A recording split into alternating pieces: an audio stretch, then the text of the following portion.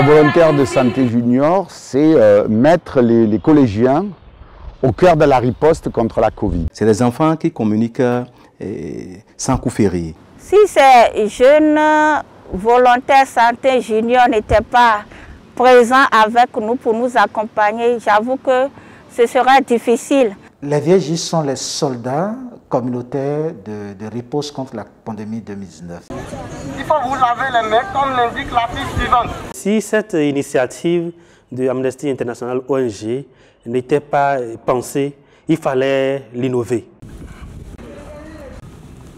Mon souhait le plus cher est que ce projet ne prenne pas fin parce que ça a eu des impacts très positifs au niveau de nos enfants et au niveau de leurs camarades et au niveau de leur, de leur famille. Dans mon quartier, chaque fois quand je rentre dans le quartier déjà, les gens sont déjà, les gens me voient et je sais que je sensibilise déjà mon quartier parce que je suis toujours avec mon masque.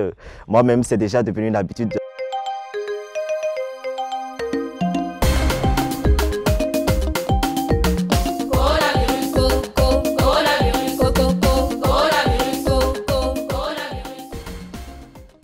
Apparu en fin d'année dernière, le nouveau coronavirus est très vite devenu une pandémie qui a fait, à la date du 4 août 2020, près de 700 000 décès et plus de 18 millions de cas confirmés dans le monde.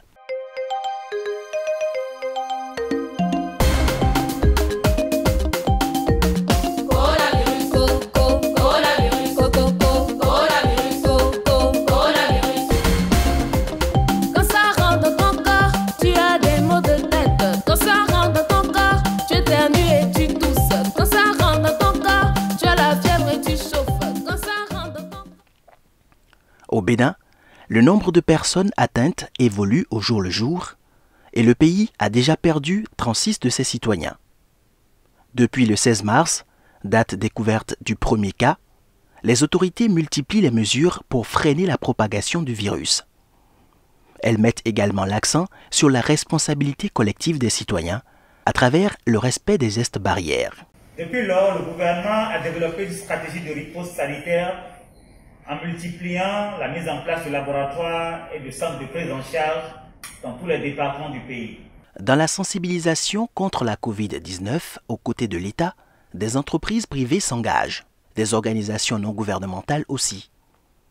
Parmi elles, Amnesty International Bénin, une organisation de protection et de promotion des droits humains agissant au Bénin depuis une trentaine d'années et qui, pour ralentir la progression du virus, a mis en place un projet dénommé Volontaire de santé junior, VSJ. La pandémie euh, Covid-19 est une question de santé publique.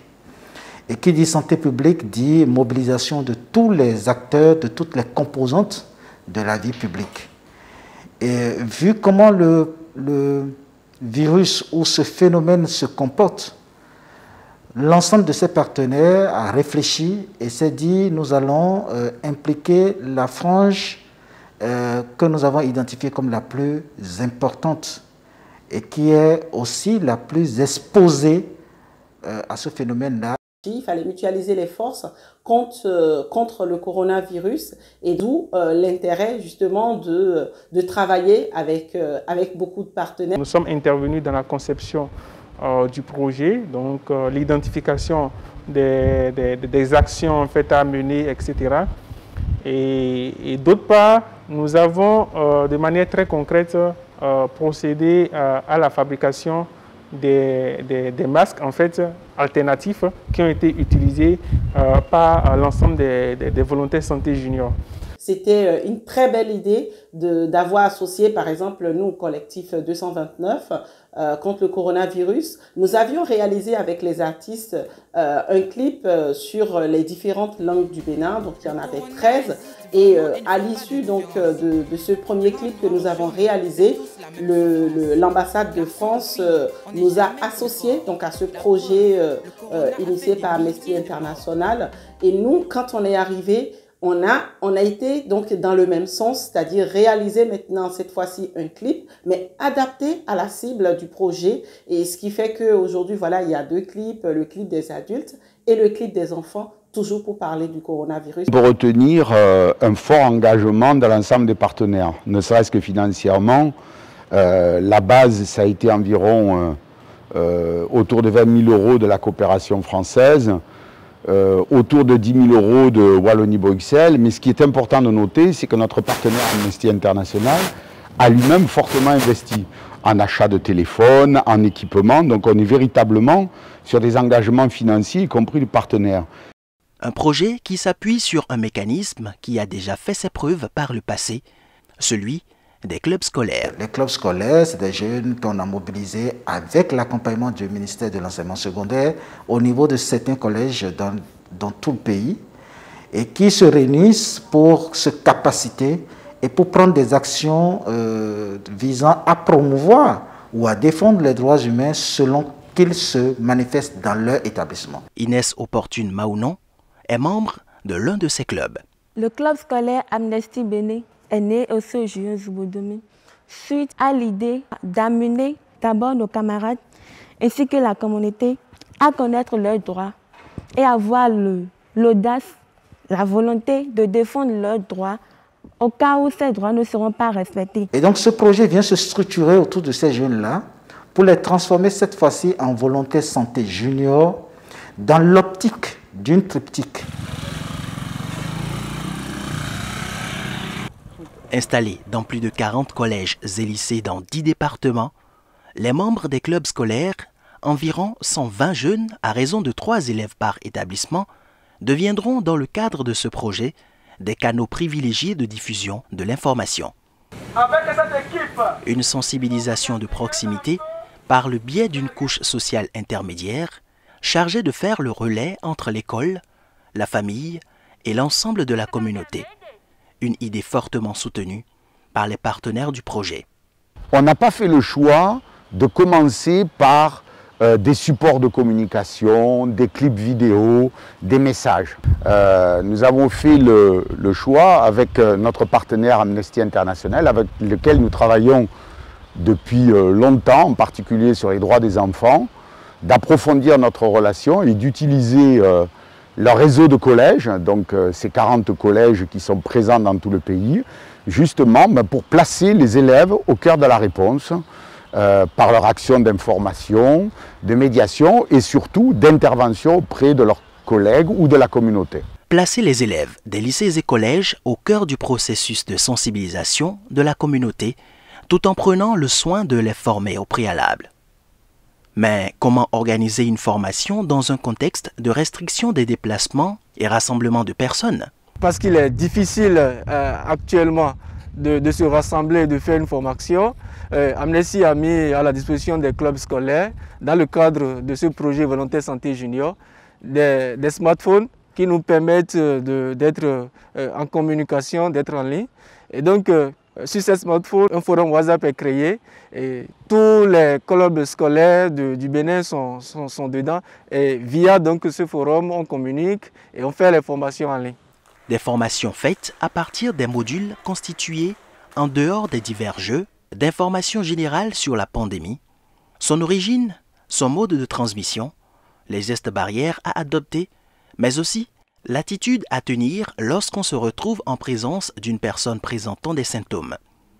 Des connaissances maîtrisées de la part des volontaires de santé junior et qui l'expriment avec facilité tant en français que dans les langues locales. Le coronavirus dans son ensemble, c'est une famille de, virus qui est pathologique à l'espèce humaine comme à l'espèce animale. Elle se transmet par plusieurs manières. Donc, euh, nous avons les gouttelettes de salive. Et quand on parle de gouttelettes de salive, on parle de la voie orale. Lorsque la personne est déjà infectée, il peut infecter aussi tous ceux qui sont autour de lui, à travers les sécrétions qui sortent de sa bouche. Il y a aussi la voie, la voie nasale, Lorsque la personne est éternue, il y a des gouttelettes qui sortent. Et ces gouttelettes-là peuvent infecter hein, des personnes lorsqu'ils vont en contact de ces personnes-là. Lorsque un individu atteint déjà du coronavirus et touche un objet, celui qui n'est pas atteint du virus ne doit pas toucher aussi les objets. Lorsqu'il touche, il sera infecté aussi du coronavirus.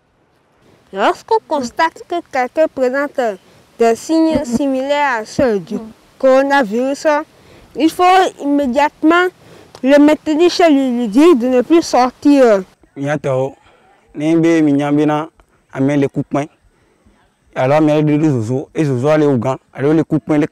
Zozo aɖoa ŋdze be ne be agbetɔ kuna kpɛ kpɛ dzɔkpɛ o. Ne mi constate nene numéro 136 ne be. Ou numéro 51 02 00 00 ou encore numéro 51 04 0000 pour venir prendre en charge cet homme.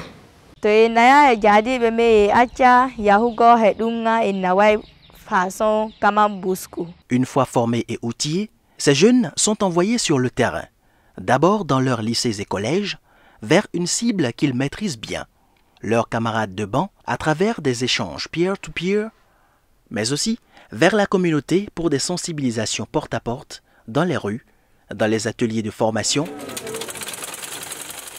ou des marchés. C'est pas quand vous avez déjà lavé vos mains, vous allez le faire chaque fois. C'est une prise de conscience et laver vos mains régulièrement, mais bien, correctement. Donc, rien, les senti, ce qu'on est.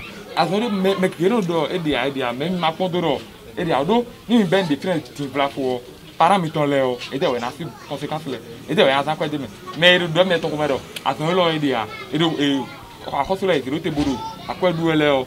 Misi bi asomu de wasa akɔdu mɛka mi. asɛn de o edo wulewuli de lɛ bɔbi hemi na asambo na do asɛn de o te. Wulewuli de tɛ lɛ o eka yi mina wuli bonu alɔ kulɔkulɔ trala e ɛnɛ bɛ do ta di. Gbɔgã yi e wọlé mi wúwo mina lọ wuli bonu alɔ mi tɔ lɛ kikulɔ mi kulɔ bo tɔ mi wɔ mina lɔ lɛ kulɔ tso na e bi ɔkɔ mi tɔ lɛ ma mi mina kulɔ tso na bi asɔ mi tɔ lɛ mɛ ne bo ti de bo yi ma asɔ mi do la n'o ti yɔ. Sọ pé dáhùn tí mi tọ́lẹ̀ nu. Mais les VSJ ne se contentent pas uniquement des sensibilisations de proximité. Mesdames, Messieurs, bonjour. Le projet vise aussi la grande masse dans les hameaux les plus reculés. Et pour y arriver, le canal le plus adéquat s'appelle la radio communautaire. Depuis sa création, l'humanité souffre des maux qui rendent l'existence de l'homme pénible et préjudiciable à la vie. Parmi ces maux se trouve aujourd'hui le nouveau coronavirus, encore appelé COVID-19. Huit radios communautaires sont donc sollicitées. Tobli Cédric, euh, de l'autre côté, en face de vous. Toli, bonsoir. Bonsoir, monsieur. Ainsi, deux fois par semaine, en fonction des zones et de la grille des programmes de ces radios, les VSJ passent à l'antenne. Qu'est-ce que vous dites à nos populations dès que vous prenez de- la décision d'aller sensibiliser. Euh, je leur dis simplement de, de se munir de leur cache-nez quand ils se trouvent dans de groupements, dans de rassemblements.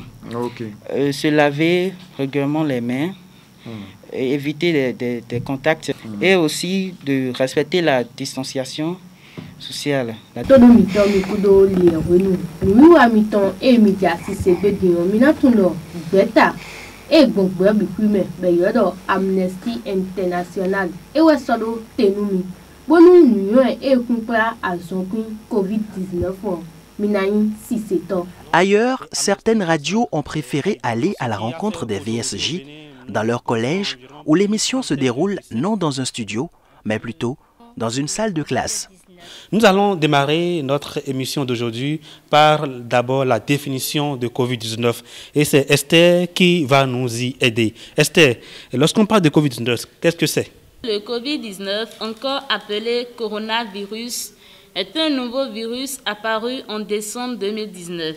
C'est un virus très grave que celui de la grippe. Sa propagation est plus rapide et nécessite beaucoup de mesures à prendre pour éviter cela. Merci à toi Esther qui nous a plongé dans la définition de la Covid-19. Nous allons... Et l'expérience n'a pas manqué de plaire, en commençant en premier par les animateurs qui les reçoivent. Ça a été une grande fierté, une grande joie de recevoir les élèves euh, qui, euh, pour la première fois, se sont euh, habitués au micro. On, on les a, on les a adoptés, on les a amenés à connaître ce que c'est que la radio, ce que c'est que le micro. Et ils ont profité de tous ces éléments-là pour partager la bonne nouvelle des dispositions, des gestes barrières, de ce que c'est que le coronavirus à nos populations, à nos auditeurs. Je voudrais reconnaître que vraiment les VSJ que j'ai rencontrés ici au CGD Aboumé sont au top niveau. Il ne faut pas que je cache cette impression. Je n'ai pas eu de difficulté avec eux. Quant à l'enregistrement de cette émission, euh, les phrases coulaient, les explications coulaient les unes après les autres. Et puis, franchement, il n'y a pas eu de, de, de difficulté à enregistrer cette émission avec eux. Outre les émissions, l'autre versant de la communication des grandes masses s'est orienté vers Internet, ses réseaux sociaux et ses blogueurs. Nous avons aidé euh, l'équipe de communication qui a travaillé sur ce projet. Euh, comment, en, aidant par exemple dans, la conception des, différents visuels qui sont, passés et en essayant de, proposer en fait un contenu, euh, j'allais dire graphique, euh, voilà, structurant, qui pouvait en fait accompagner les différents messages qui étaient véhiculés sur, les, différents réseaux sociaux. Comme pour chaque mission, il faut à la fois des hommes et des moyens. Et surtout, comment sensibiliser sans donner l'exemple Équipés de leurs masques porteurs de messages, les VSJ, appuyés par des dispositifs, trois par école, invitent leurs pairs à faire les gestes qui sauvent et préviennent de la maladie. Ce projet nous a offert des kits de lavage de mains avec des savons liquides qui nous permettent de nous laver régulièrement les mains. Chaque enfant en venant déjà à l'entrée du collège, en rentrant juste, tu te laves les mains d'abord avant d'aller en salle. Après quoi, à la récréation, avant d'aller se récréer, tu dois encore te laver la main. Et à midi aussi, avant de sortir du collège, on se lave encore les mains avant de rentrer à la maison. Quand nous venons à l'école chaque matin, pour la sensibilisation, on passe de classe en classe pour informer nos camarades à respecter les gestes barrières. À 10 heures, quand nous sommes en récréation, on utilise les mégaphones pour passer les informations à tous ceux qui sont au dehors et aux vendeurs également pour qu'ils respectent les gestes barrières.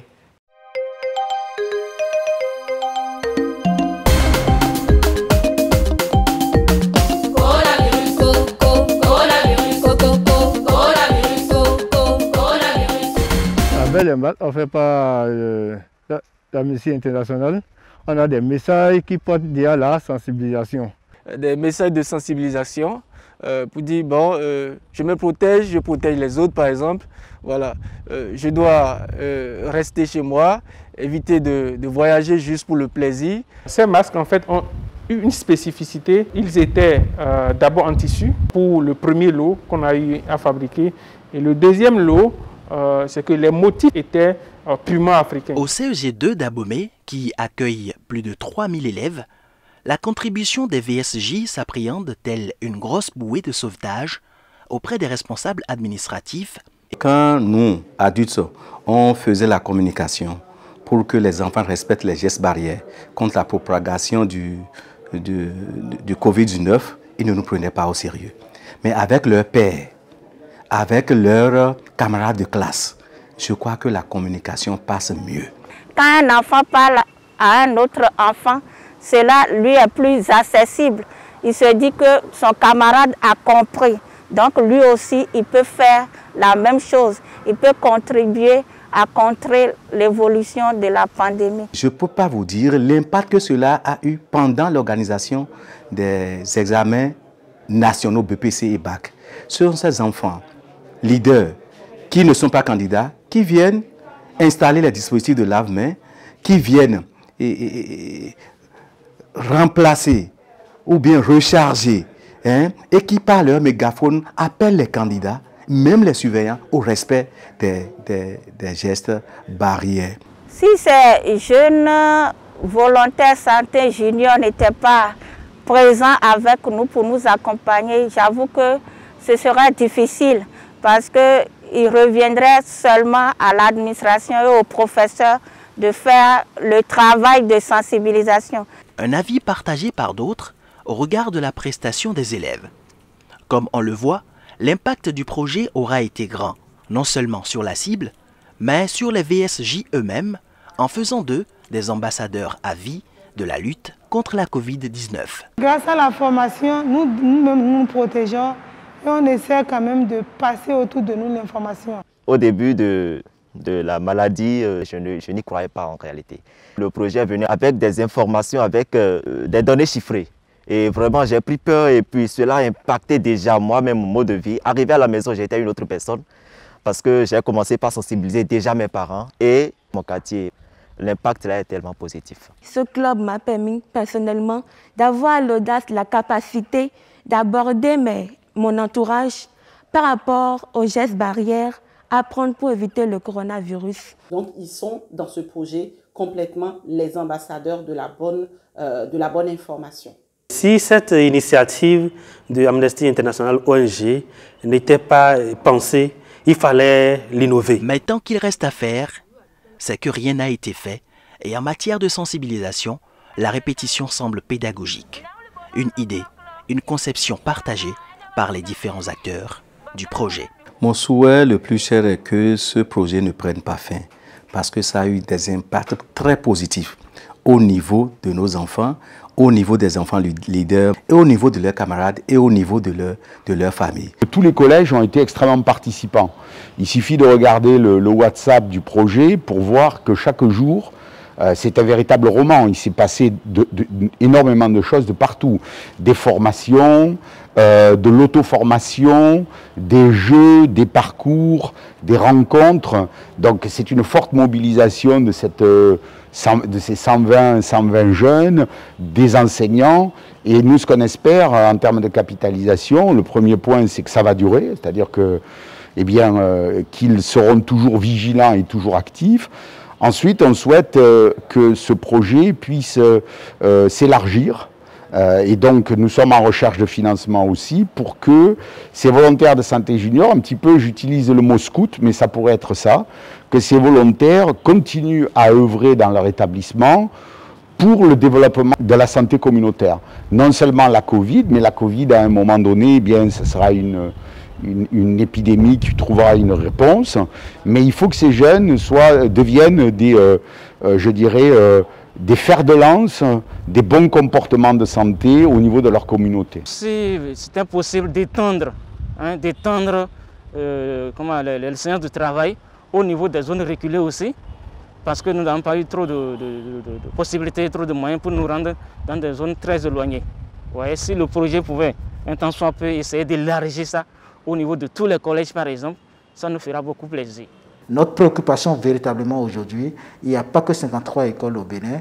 Nous aurions aimé vraiment, vu notre capacité d'administration, aller pourquoi pas autour de 100, 200 écoles et donc pouvoir remettre à l'État à la fin un rapport vraiment à l'État, c'est-à-dire au ministère de, la Santé, au ministère de, de l'enseignement secondaire, comment est-ce qu'on peut utiliser des enfants et des jeunes euh, dans, dans, dans, un contexte de pandémie communautaire pour pouvoir véhiculer un message. Le bilan est, euh, je dirais, euh, extrêmement positif, avec un engagement très fort de tous les partenaires, des jeunes en particulier, qui ont pris ça très au sérieux.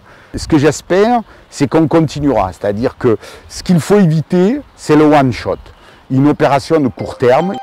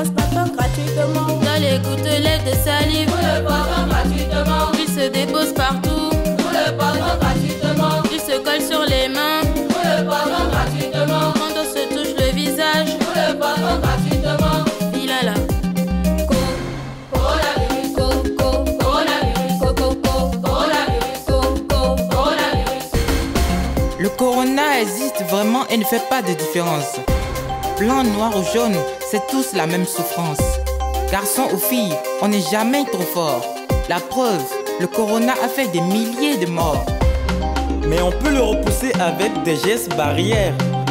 Lavons-nous bien les mains dans la paume et au derrière. Portons nos masques partout en ville et à l'école. Gardons les distances, oui c'est notre part de rôle. Corona, Corona.